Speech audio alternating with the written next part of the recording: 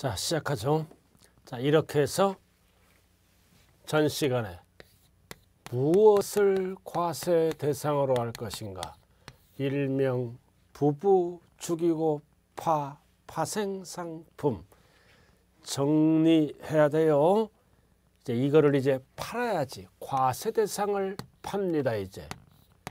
그래서 우리는 양도로 보는 경우와 양도로 보지 아니하는 경우를 구분해야 된다고요.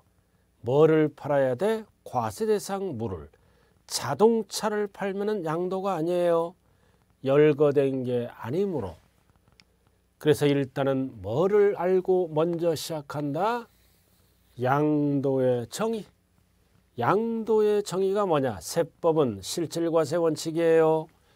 그래서 등기 등록 관계없이 형식상이 아니라 사실상 포인트는 무슨 이전이다? 유상 이전이다. 세법은 무상은 증여나 상속으로 가요. 세법은 유상 이전이다. 그 자산 꼭대기 그 자산이 뭐다? 열거된 거 부부 죽이고 팔을 사실상 이전하고 대가를 받아야지 유상, 무상하면 큰일 나요. 그래서 세법은 등기 등록 여부 안 따진다. 사실상 유상 이전이다. 2번이 그 얘기죠. 그래서 무상으로 이전되는 것은 수중자에게 증여세를 과세한다. 자, 그래서 지금부터는 뭘로 들어간다? 양도로 보는 거와 양도로 보지 않는 것을 구분해야 됩니다. 그럼 양도로 본다 그러면 똑같은 용어가 뭐다? 과세할 대상이다. 세금 계산이 들어가겠죠? 들어가서 남으면 과세하고 손해나거나 본전에 팔면 과세를 안 해요. 양도로 본다. 똑같은 지문이 뭐다? 과세 대상이다. 똑같은 지문이 뭐다? 그 자산의 사실상 유상 이전으로 본다. 유상 이전으로 본다. 양도로 본다. 과세 대상 이다. 똑같은 지문이에요. 그래서 첫 번째 가장 많이 하는 게 뭐다? 매도. 갑과 을 매매로 이전시키죠. 그럼 갑으로부터 대가를 받잖아요. 그래서 그림. 그래서 8억에 사서 대금 지급을 얼마 받은 거야? 10억. 얼마 남았다? 2억. 세금 계산이 들어간다. 그래서 그림 보면 매도자는 이전시킨 자는 양도소득세, 이전 받는 자는 취득세 대상이라면 뭐를 과세한다? 취득세. 항상 양도세는 개인, 매도자에게 과세하는 세금이다. 그래서 매매 속에는 뭐도 있다? 공경매도 들어간다. 공경매도 대가를 받는 거죠. 공매, 공매 가격, 경매, 낙찰대금, 음, 경매, 경매대금 받죠? 어, 내가 받지는 않지만 받아서 빚 갚은 걸로 봐요. 그래서 일반적인 매도도 양도지만 공경매 여러 차례 분할로 파는 것도 다 대가를 받기 때문에 양도세 대상이다. 그래서 공경매도 뭘로 본다? 양도로 본다. 공매 가격, 경매 가격이 이거는 유상 이전으로 본다고요. 자 넘어가죠. 교환. 두 번째 넘어가면 대표적으로 뭐가 있다? 교환. 교환은 뭐를 받는 거야? 물건이란 대가를 받기 때문에 유상 예전이다. 교환. 그래서 그림 한번 봐요. 교환 가액이 12억이야. 교환. 그래서 갑과 을이 교환을 합니다. 교환을 하는 거야. 부동산을 교환을 했다. 그럼 교환 가액이 12억이면 양도 가액이 12억이야. 그럼 갑은 옛날에 취득 가액이 있죠. 5억.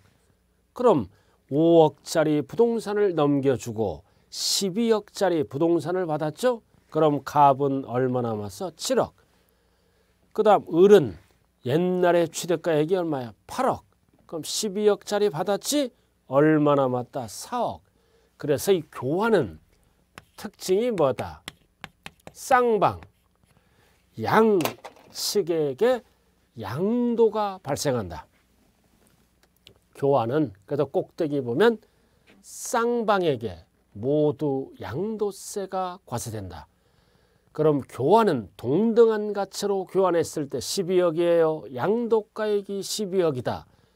과거의 취득가액과 비교해서 쌍방이 양도다. 그럼 쌍방이 뭐도 된다. 취득도 된다. 10억, 12억에 대해서는 취득세 계산에 들어갑니다. 그래서 이전시키는 거는 양도로 보고 이전 받는 거는 보다 취득으로 봐서 12억짜리는 취득세를 과세하게 된다. 그래서 교환은 물건이란 대가를 양측 쌍방이 받음으로 양도로 본다. 이전 받는 거는 등기 쳐야지 취득으로 본다. 그래 여기서 중요한 거는 취득으로 본다 할 때 무슨 취득으로 볼까요? 유상 취득으로 본다라는 뜻이에요. 그럼 상가 같은 거는 몇 프로 취득세를 내야 돼? 4%. 양도세에서 유상이니까 취득세도 유상 취득으로 본다. 그래서 취득세는 상가 같은 경우는 몇 프로 부과한다? 4%. 자, 그 다음은 이제 뭐가 들어간다? 현물 출자. 현물 출자는 왜 양도다? 주식이란 대가를 받음으로 현물 출자가 뭐예요? 현금 대신에 물건을 출자하는 거예요. 그다 그림 보면 나왔잖아요. 오른쪽 출자자 개인이죠. 개인이 현금 대신에 토지 건물을 출자한 거예요. 출자에서 법인으로부터 뭐를 받았다? 주식이란 대가를 받았다. 그 주식 15억을 받았다. 그럼 양도가액이 15억이죠? 그럼 출자자는 취득가액이 얼마야? 10억. 얼마 남았다? 5억에 대해서는 양도세 계산이 들어가고 그리고 법인이나 조합은 등기쳐야죠. 취득세를 납부한다. 그래서 항상 현물 출자도 양도로 본다. 현금 대신에 물건을 출자해서 법인 등으로부터 주식이란 대가를 받기 때문에 양도로 본다. 여기까지가 시험에 출제되는 거예요. 단 3번. 3번 나왔잖아요. 개인 사업자에 출자하잖아. 자기 기업에 출자하는 거는 양도로 보지 않는다. 공동사업체에 출자를 해야 돼. 법인 등의 조합 등에 자기가 자기 사업자에 출자하면 뭐다? 왜 양도가 아니야? 소유권 이전이 안 되는 거죠. 소유권 이전이 안 되니까 어, 법인이나 조합 등에 출자를 해야 된다. 개인 사업체 자기가 자기 기업에 출자하는 것은 소유권 이전이 안 되므로 양도로 본다 안 본다 안 본다. 꼭대기 이제 수용. 자 법에 의해서 강제적으로 뺏어가죠. 수용되면 뭐를 받아? 보증금이 아자 뭐다? 보상금. 보상금이란 대가를 받음으로 양도로 본다. 꼭대기. 그래도 보상금을 50억 받았다. 그럼 양도가액이 50억이요. 그럼 과거의 취득가액이 있겠죠? 비교해서 계산이 들어간다. 그래서 글씨 나왔잖아요. 보상하기 때문에 즉 보상금을 받기 때문에 그 부분은 유상 이전에 해당되어 양도소득세가 과세된다 그 뜻이고 자, 그 다음은 뭐가 있다? 대물변제. 대물변제가 뭐야? 현금 대신에 물건으로 채무를 변제하는 거예요. 현금 대신에 물건으로 갚는 거야. 그럼 빚을 안 갚아도 되죠? 그래서 채무가 변제되는 부분은 양도로 본다. 채무가 변제됐다는 얘기는 뭐다? 채무가 감소됐다는 거죠? 그래서 대물변제는 어떻게 본다? 부동산을 팔고 빚 갚은 걸로 봐. 팔아서 주나 직접 주나 똑같다 이거지. 대물변제. 자, 거기 박스 나왔잖아요. 자, 채무자는 박스 채권자로부터 얼마를 빌려왔어? 10억. 빚을 못 갚어. 그럼 채무자는 채권자의 승낙을 얻어 양도세 대상 물건으로 갚는 거야. 이게 대물변제야. 대물변제. 그럼 대물변제는 채무자 입장이에요. 빚이 얼마? 10억. 그럼 10억짜리 부동산 주는 거야. 그럼 양도가액은 얼마야? 10억. 과거의 취득가액은 얼마라고 찍혀 있어? 7억. 얼마 남았어? 3억. 그래서 대물변제는 현금 대신에 물건으로 변제했다는 뜻은 뭐다? 양도로 본다. 즉 어떻게 본다? 10억에 팔고 빚 갚은 걸로 봐. 팔아서 주나 직접 주나 똑같다 이거지. 대물변제. 그래서 대물변제의 전형적인 거는 뭐가 있다? 위자료. 위자료는 뭘로 주면 아무것도 아니다. 금전. 위자료를 뭘로 줬어? 이혼하면서. 부동산으로. 그럼 뭘로 본다? 대물변제. 그래서 위자료는 부동산 팔고 위자료 준 걸로 봐. 팔아서 주나 직접 주나 똑같다 이거지. 그럼 대물변제가 되면 채무가 감소되죠. 이 부분은 유상 이전이다. 빚을 안 갚아도 되니까. 그래서 대물변제. 그래서 양과로 5번의 박스에 나왔잖아. 1번, 2번 포인트는 뭐다? 위자료야 위자료. 위자료야 위자료. 이혼하든 손해배상이든 위자료를 물건으로 주면 대물변제. 근데 뭐랑 헷갈리면 안 돼. 재산분할. 위자료는 대물변제로 봐. 그러나 재산분할은 양도가 아니에요. 재산분할은 부부의 공동재산을 나눠 가진 걸로 봐. 내 것을 내가 나눠 가진 거예요. 이거는 양도가 아니다. 위자료와 재산 분할을 헷갈리면 안 돼요. 위자료는 대물변제.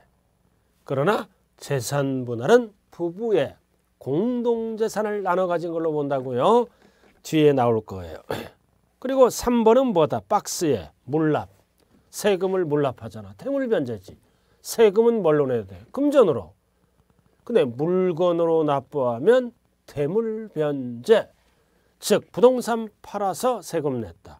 팔아서 납부하나 직접 물건으로 이전시키나 똑같아 이거지. 그 다음 3번은 뭐다? 공사비.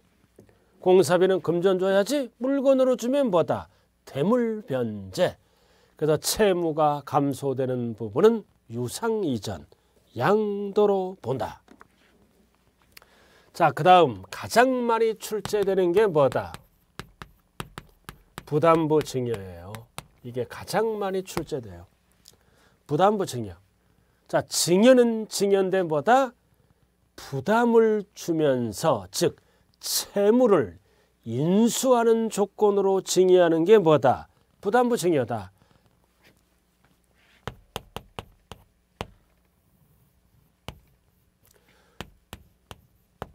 자, 10억짜리 부동산을 증여합니다. 갑을 뭐라 그래요? 주는 자, 증여자. 받는 자를 뭐라 그런다? 수중자. 뒤바뀌면 안 돼요. 그럼 단순 증여하면 증여세가 최대 50%까지 나와. 가격에 따라. 그래서 부담을 주면서 채무를 끼고 증여합니다. 전세금을 끼고 증여한다거나 은행 가서 대출 받아서 증여하지 그러면 보편적으로 세금이 줄어들 수가 있어요. 자, 그래서 단순 증여가 아니라 대출, 사목 끼고 증여하는 거예요. 그래서 갑돌이는 10억짜리를 증여하면서 갑돌이가 대출금 3억 받았죠? 이거를 갚는 조건으로 그럼 수중자는 어떻게 합니까? 채무를 인수하는 조건으로 받는 거예요. 그럼 이 얘는 어떻게? 10억짜리 받지? 얼마를 갚아야 돼? 3억 채무를 인수하는 조건. 그러면 얼마가 남어? 7억. 그래서 7억은 무상 이전. 이 애는 뭘로 간다? 증여세를 과세합니다. 누가? 수중자가 증여자가 하면 안 돼요. 그럼 이해는 이해는 3억 은행으로부터 3억 받았잖아 옛날에. 그래서 3억은 3억은 뭘로 본다? 양도로 본다. 양도 소득세 계산이 들어간다. 그래서 10억이 3억과 7억으로 나눠지는 거예요. 3억 채무 부분은 양도세 계산.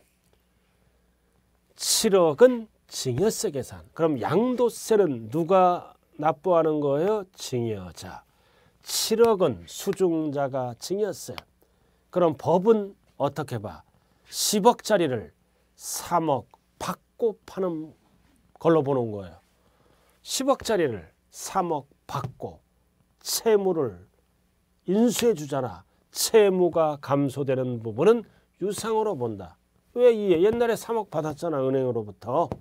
그래서 10억짜리를 3억 받고 팔아먹는 걸로 봐. 유상. 이쪽은 나머지는 7억은 공짜니까 징역. 그래서 채무만 뭘로 본다. 양도로 본다. 그러니까 시험자에 가면 가장 많이 출제되는 게 부담부 증여예요. 채무는 양도로 본다. 채무를 제외한 나머지는 뭘로 본다? 공짜니까 증여로 본다. 이게 1번이에요. 그래서 6번 나왔잖아. 6번 부담부 증여란 증여자가 양도 소득세 과세 대상을 증여해야 돼요. 자동차를 증여하면 증여가 아니에요. 열거된 거.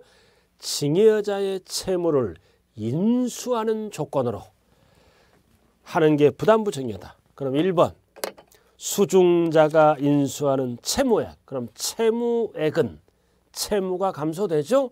그래서 채무액은 증여자에게 유상 이전으로 봐서 양도소득세가 부과된다. 꼭대기 250페이지. 누구에게? 증여자에게 양도소득세를 부과한다. 그러나 채무 이외 나머지 나머지는 누구에게? 수중자에게 증여세를 부과한다, 과세한다 그 얘기잖아요. 그러니까 결국 부담부 증여는 뭐다? 부담부 증여는 채무는 양도고 나머지는 증여다. 이렇게 가는 거예요. 근데 부담부 증여가 누구랑 일어나? 가족끼리, 배우자, 직계, 좀비 속간에 일어나죠? 그럼 1번은 뭐야? 가족이 아닌 자야. 아무런 말이 없을 때. 그러나 배우자 또는 직계, 좀비 속간에 부담부증이 할수 있죠? 이럴 때는 뭐다? 이게 2번이야. 양도로 안 본다. 전체를 어떻게 한다? 10억을 증여받은 걸로 추정한다. 추정이란 단어가 나와. 그래서 입증을 못하면 10억에 대해서 증여세를 다 물어야 돼. 요렇게. 그래서 외우지 말고 가족 간의 부담부 증여는 대가가 없다. 이 3억도 뭐다? 증여자가 뒤에서 갚아줄 수 있잖아. 3억 주면서 은행 빚 갚아라. 그래서 가족 간의 부담부 증여는 대가가 없다. 양도로 안 본다. 전체를 뭘로 본다? 증여받은 걸로 본다 그러면 안 돼요. 추정한다. 그럼 추정이란 뜻은 뭐다? 반증을 제시하면 양도로 바뀌는 거예요. 그래서 입증을 못하면 전체 증여세. 근데 입증을 해 채무를 입증하잖아. 채무를 입증 증명하면 뭘로 바뀐다?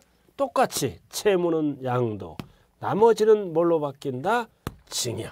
이게 3번이야. 입증하면 1번처럼 간다고요.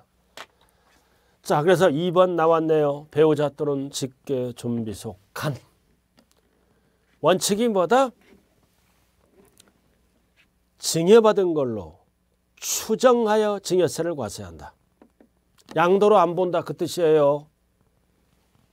추정하여 증여세를 과세한다. 양도로 본다 안 본다 안 본다. 그러나 다만 나와 있죠. 어쩌고 저쩌고 객관적으로 인정 입증할 때는 그러하지 아니하다. 즉 채무는 양도고 나머지는 증여라고 본다는 뜻이에요. 그 얘기라고요. 그래서 결론 부담부 증여는 뭐다? 채무를 인수하죠. 이거는 뭘로 본다? 감소되는 부분은 양도로 보고 딱 나눠. 나머지 나머지 공짜는 뭘로 본다? 증여로 본다. 증여세로 간다. 이게 1번, 2번이야. 나 딱 나누면 돼요. 채무는 양도, 나머지는 증여.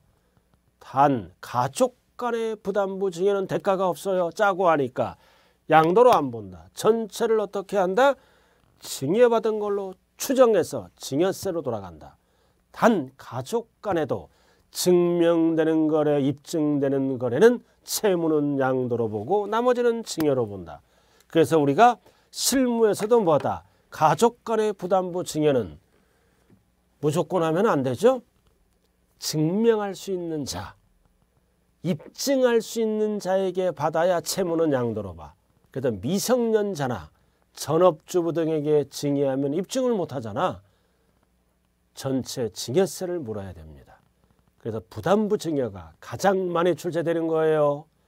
그래서 채무는 양도고 나머지는 증여고 가족 간에 일어날 때는 양도가 아니다. 전체 증여 추정 입증하면 양도로 바뀌고 그 얘기라고요. 자 여기까지가 뭐다? 양도로 보는 경우 여기까지 했네요. 양도로 보는 경우 자 한번 정리 한번 해볼까요? 매매 매매는 외양도다 금전이란 대가를 받으므로 그 다음 교환은 외양도다 물건이란 대가를 받으므로 특징은 쌍방 양측이 이전시킨 것은 양도고 쌍방이 이전받는 것은 취득이다. 현물 출자는 외양도다.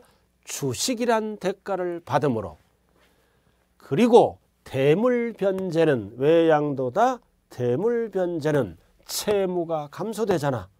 감소되는 부분은 어떻게 된다? 부동산을 팔고 갚은 걸로 본다. 팔아서 갚으나 직접 주나 똑같다. 대물 변제는 무조건 양도해요. 부동산 팔고 채무를 갚았다. 그럼 채무가 감소되는 부분은 유상이전. 그리고 대표주자가 뭐가 있다. 위자료는 양도다. 그러나 재산 분할은 부부의 공동재산을 나눠 가진 것이므로 양도로 안 본다. 공사비를 대물변제했다. 세금을 물납하다. 다 대물변제예요. 그리고 가장 많이 출제되는 게 뭐다? 부담부증이야. 부담 많은 부분 내가 갚을 거를 수중자가 채무를 인수하지 그럼 채무가 감소되는 부분은 양도로 본다. 즉 10억짜리를 얼마 받고 파는 거야? 3억 받고 왕년에 받았잖아 은행으로부터. 그래서 채무는 양도 나머지는 공짜니까 징역. 단 가족 간에 일어날 때는 짜고 한다. 대가가 없다. 양도가 아니라 전체 징역 추정. 증명이나 입증을 못하면 징여세, 입증하면 1번처럼 똑같이 된다는 것. 자 이렇게 해서 양도로 본다. 자 그럼 오른쪽 이제 이번에는 뭐다? 양도로 보지 아니한다. 이걸 구분해야 되겠네요. 자 양도로 보지 않는다. 똑같은 지문이 뭐다? 과세 대상이 아니다. 세금 계산을 안 해요. 똑같은 지문이 뭐다? 유상 이전이 아니다. 양도로 보지 아니한다. 과세 대상이 아니다. 유상 이전이 아니다. 양도세 계산을 안 해요. 자, 첫 번째 뭐가 있다? 보류지, 충당, 그리고 위에 보면은 뭐다? 환지처분. 이 두 녀석은 공익사업을 원활하게 이행하기 위해서 양도로 안 봐요. 그래서 그림 한번 보자고요. 그림. 자, 그림 그 얘기예요. 이거 뭔 뜻이에요? 세모난 땅을 사업 시행자에게 제공하고 도시개발법이에요. 수용 방식이 아니라 환지 방식이다. 사업이 종료되면 이런 네모난 땅을 받는다. 이 네모난 땅을 무슨 토지라 그래요? 환지, 처분된 토지다. 그럼 이거는 팔아먹은 게 아니에요. 내 땅 주고 다른 땅을 받았다. 권리 면적만큼. 그래서 네모난 땅을 받, 받으면 뭐가 바뀌어? 지목이 변경되고 지번도 바뀌겠죠? 이런 거는 양도가 아니다. 공익사업을 원활하게 이행하기 위해서 양도로 보지 않는다. 그리고 나머지는 뭘로 남겨둔다. 보류지. 어, 공사비도 사용하고 공공시설 용지로 남겨둬야 되죠. 그래서 환지 처분된 토지와 보류지 충당된 토지는 공익사업을 원활하게 이행하기 위해서 양도로 안 본다. 환지 처분은 팔아먹은 게 아니에요. 사업 시행자로부터 환지 처분받은 토지를 얘기하는 거예요. 그래서 꼭대기 양도로 안 본다. 근데 이해를 어떻게 합니까? 이해를 팔어 매각 매각하면 돈 받으니까 양도로 본다. 그래서 출제는 1번 2번 환지와 보류지 충당은 양도로 안 본다. 그러나 이 땅을 매각 처분하면 돈 받죠? 양도로 본다. 그래서 꼭대기 3번 2번은 지금 알 필요 없어요. 3번 나와 있죠? 다만 토지 소유자가 도시개발 사업으로 환지받은 토지를 양도하는 경우와 사업 시행자가 공사 대금으로 청구한 보류지를 양도했다, 처분했다는 거죠. 이럴 때는 뭘로 본다? 양도로 본다 그 뜻이에요. 자, 그 다음 넘어갑니다. 252쪽 꼭대기 교환. 자, 일반적인 교환은 물건이란 대가를 받음으로 양도해요. 근데 어떤 교환이야? 꼭대기 지적 경계선 변경을 위한 교환. 그래서 이거는 박스 참고 나와 있잖아요. 지적이 잘못돼서 경계가 잘못됐다고요. 합리적으로 바꾸기 위해서 법률에 따라 토지를 분할 교환하는 것은 뭐다? 지적을 바로잡는 거죠. 이런 거는 법에 의해서 하는 것이므로 양도로 안 본다. 그러나 너무 많이 차이 나면 안 돼. 2번에 100분의 20을 초과하지 아니하는 경우 이럴 때는 양도로 안 본다. 법에 의하는 거니까. 그러나 일반적인 교환은 양도예요. 지적, 경계, 변경을 위한 교환은 법에 의해서 하는 것이므로 양도로 안 본다. 참고로 알아두시고요. 자, 그 다음 세 번째 알아야 될 거는 양도담보야.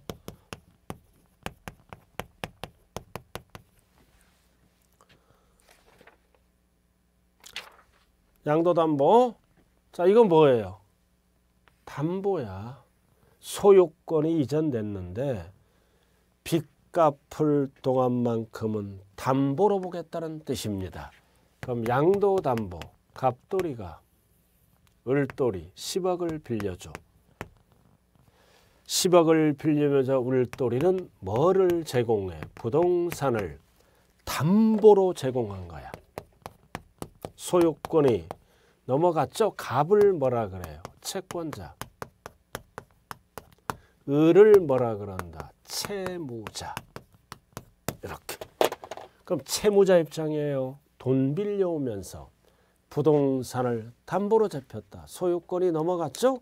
이거는 담보로 넘어간 거야. 그래서 이거를 담보 가등기 상태가 된 거예요. 이거. 그다 빚 갚을 동안만큼은 담보로 본다. 빚을 못 갚으면 뺏어가 버리고 빚을 갚으면 소유권 환원이 되는 거죠. 그래서 담보로 이전시키면 양도로 안 보고 담보로 본다. 그럼 빚을 못 갚아. 채무, 불이행, 불이행으로 변제에 충당됐다. 이럴 때는 뭘로 본다? 양도로 본다. 변제에 충당되면 갑돌이는 바로 뭘 실행해 버린다? 본등기를 해서 뺏어가 버립니다. 그 이것도 똑같아. 1번 담보로 넘어갔을 때는 빚 갚을 동안만큼은 양도가 아니라 담보로 본다. 빚을 못 갚아요. 그럼 뺏어가 버리지? 뺏어가 버리는 것을 뭐라 그래요? 채무 불이행 시 변제에 충당됐다. 결국 네 글자로 뭐가 된다? 대물변제. 그럼 변제에 충당되면 채무가 감소되죠. 안 갚아도 되죠. 즉 대물 변제다 이거지. 그래서 10억짜리를 부동산으로 갚았다는 뜻이에요. 그래서 양도 담보는 출제되는 게 딱 두 가지예요. 빚 갚을 동안만큼은 담보로 본다. 빚을 못 갚으면 뺏어가 버리지. 채무 불이행 시 변제에 충당되는 것은 뭘로 본다고요? 양도로 본다. 그래서 다 필요 없고 밑에 2번. 2번이 담보잖아. 그 담보로 본다. 담보로 본다. 양도로 보지 않는다. 그 얘기예요. 이러한 사실을 세무서에 신고하라 그 뜻이에요. 어떻게 밑에 박스. 이거는 담보를 위해서 양도한다는 의사표시. 그리고 양도담보의 특징은 뭐다? 채권자가 아니라 채무자가 채무자가 원래대로 사용수익한다. 그리고 원금은 얼마고 이율은 얼마고 변제기간은 몇 년이고 이런 거를 뭐라 약정이 있어야 된다.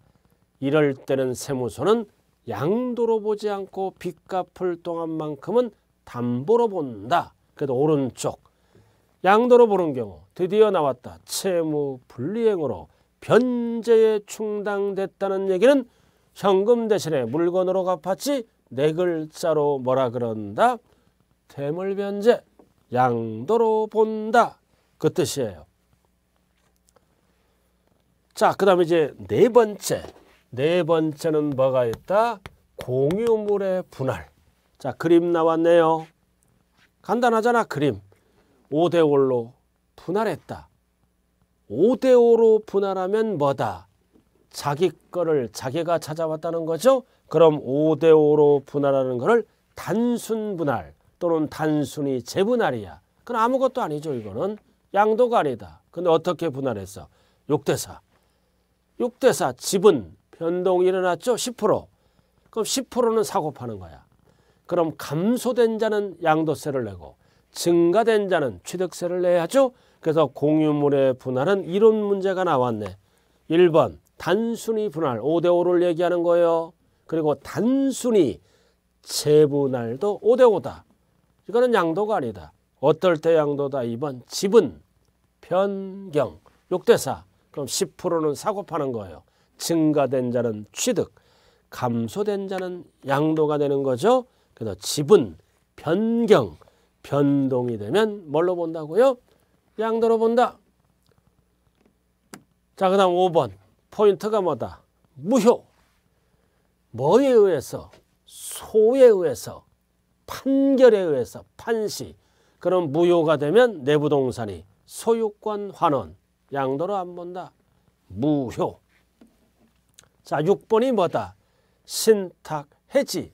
맡겼던 게 해지가 됐지? 그럼 역시 뭐다? 소유권 환원. 양도로 보지 않는다. 무효. 다수. 그래도 5번 6번은 소유권 환원. 내 것을 내가 찾아오는 걸로 보는 거예요. 양도로 안 본다. 자 넘어가죠. 자 넘어가서 이제 8번 별 하나 딱 붙여요. 아까 설명했죠? 254쪽 재산 분할. 재산 분할은 대물변제가 아니에요. 부부의 공동재산을 나눠 가진 걸로 보기 때문에 양도로 안 본다. 8번. 양도 또는 뭐다? 징여로도 안 보고. 자, 그 다음 마지막 하나만 하자고요. 9번에 1번. 9번에 1번. 자, 공경매는 양도예요. 경락대금, 공매대금, 유상대가가 있어요. 부동산에 대해서. 그러나 공경매인데 뭐다? 자기가 재취득하는 거야. 9번. 자기가 재취득하는 거는 그냥 공경매는 양도인데 자기가 재취득해. 갑소유 부동산이야. 그거를 의리 은행에 담보를 제공하고 대출을 받아. 누구 부동산으로? 친구 부동산으로 이렇게 대출 받는다고요. 내 부동산을 뭐다? 보증서 준 거야. 담보 제공해서 대출 받아가. 그럼 은행은 을에게 원금과 이자를 요구하죠. 근데 을이 빚을 못 갚아. 그럼 은행은 바로 갑부동산에 경매 신청하죠. 갑부동산의 은행은 바로 경매 신청하잖아. 그럼 갑은 경매에 참가할 수 있다 없다? 있다. 왜? 주채무자가 아니므로. 주채무자는 이해야. 졸지에 내부동산이 날아가게 생겼잖아. 그럼 자기가 경매에 참가해서 재취득하는 거는 내 것을 내가 찾아왔다. 소유권 환원. 그래서 양도를 안 본다. 그 뜻이에요. 그냥 공경매가 나오면 양도로 본다. 자기가 재취득하는 거는 뭘로 보지 않는다? 양도로 보지 않는다. 자 이렇게 해서 이번 시간은 뭐에 대해서 배웠다? 양도로 보는 경우와 양도로 보지 아니하는 경우가 나왔네요. 정리가 어디에 되어 있다? 오른쪽. 오른쪽 박스에 별 딱 붙이세요. 오른쪽 박스 255쪽. 자, 배운 한도 내에서만 하면 되는 거야. 매도 공경매는 대가를 받으니까 양도다. 오른쪽 255쪽. 수용은 보상금을 받음으로 양도다. 교환은 물건이라는 대가를 받음으로 양도다. 현물 출자는 주식을 받으니까 양도다. 그리고 대물변제, 대물변제는 채무가 감소되죠. 특히 위자료는 양도다. 그럼 부담부 증여는 채무만 양도. 나머지는 뭐라고 배웠어요? 나머지는 증여. 채무만 양도라고요. 오른쪽 환지 보류지는 양도가 아니죠. 어떨 때 양도라고 배웠어? 매각시. 그 다음 2번 양도 담보는 빚 갚을 동안만큼은 뭘로 본다? 담보로 본다. 어떨 때 양도로 배웠어요? 채무 분리행시. 변제에 충당할 때는 양도다. 그 다음 3번 공유물의 단순 재분할은 5대5 양도가 아니다. 어떨 때 양도라고 그랬어요? 지분 변동 6대4 그리고 지적 경쟁을 위한 교환은 법에 의해서 하는 것이므로 양도가 아니다. 그리고 무효 신탁해지는 양도가 아니다. 그리고 위자료는 양도지만 재산 분할은 양도가 아니에요. 그럼 명의신탁도 뭐다? 양도가 아니다. 명의신탁은 이름만 빌려주는 거죠? 어, 이름만 빌려주는 거다. 징여로 갑니다. 자 등등등. 그래서 8번 빼고는 다 설명했네요. 그래서 양도와 양도가 아닌 것을 구분하자. 오늘 수고 많았습니다. 감사합니다.